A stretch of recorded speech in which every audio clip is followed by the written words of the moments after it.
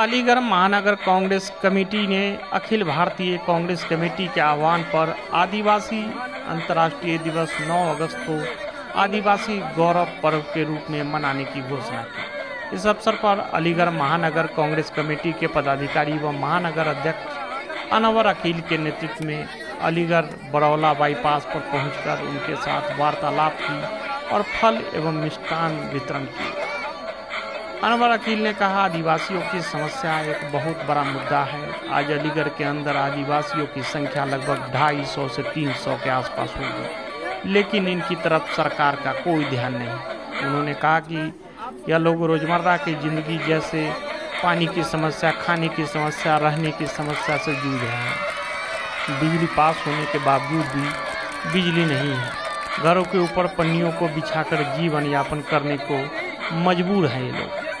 छोटे छोटे बच्चे, भूखे, तन पर कपड़ा तक नहीं। महिलाएँ रोज काम पर निकलने के बावजूद अपने लिए दो वक्त की रोटी ही जुटा पाते बच्चों की शिक्षा का कोई साधन नहीं।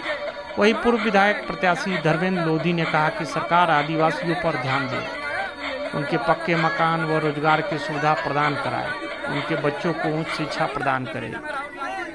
धर्मेंद्र लोधी ने कहा कि 2024 आदिवासी दलितों का होगा सरकार में हिस्सेदारी और भागीदारी सभी आदिवासी दलित लोगों ने कांग्रेस का समर्थन किया। इस देश का इस मौके पर कांग्रेस आने ने वाले आदिवासी मुखिया ललन सिंह का पूर्ण फूल मालाओं से स्वागत किया।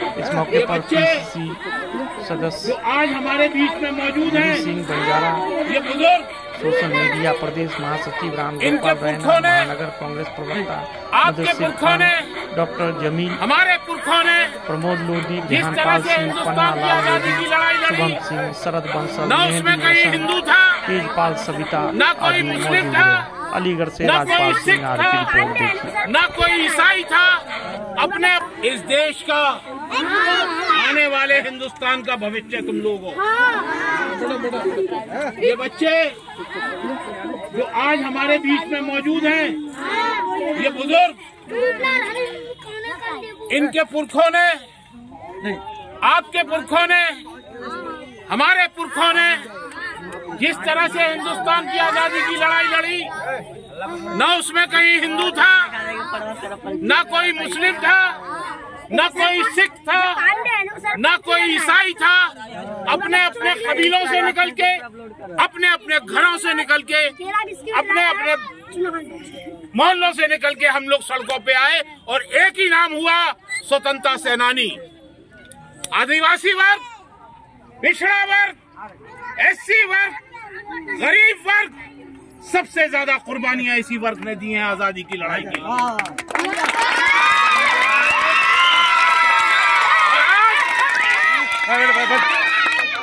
इस भाजपा सरकार ने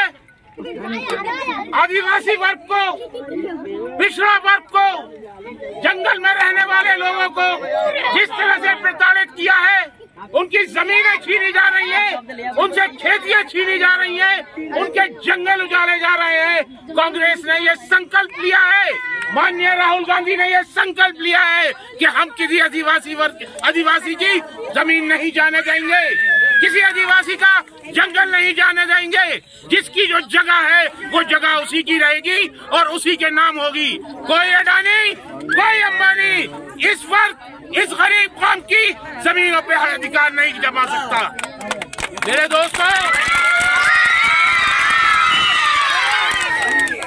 ये बच्चों का उत्साह, ये महिलाओं की टिटलाहट ये मेरे पीछे खड़े जवान और बुज़ुर्गों का मेरे साथ खड़े होना इस बात की गवाही देता है कि आने वाला समय माननीय राहुल गांधी का समय है। जिन्होंने एक बुगुल पूछा, फूका है इस अमीर परवर सरकार के खिलाफ जो अमीरों की सरकार है, जो गरीब गुरबाओं को नहीं देखती जो उनकी खेतियों के बारे में नहीं सोचती, जो उनकी मजदूरों के बारे में नहीं सोचती, जो इनकी झोपड़पट्टियों के बारे में नहीं सोचती, बुलडोजर लेके इनकी झोपड़पट्टियों को उजाड़ने का काम किया जाता है।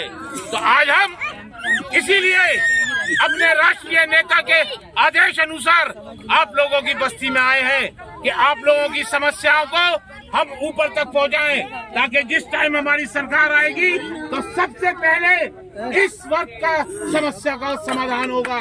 मेरे साथ ज़ोर से नारा लगाओ। मेरे साथ आप लोग ज़ोर से नारा लगाओ। कांग्रेस!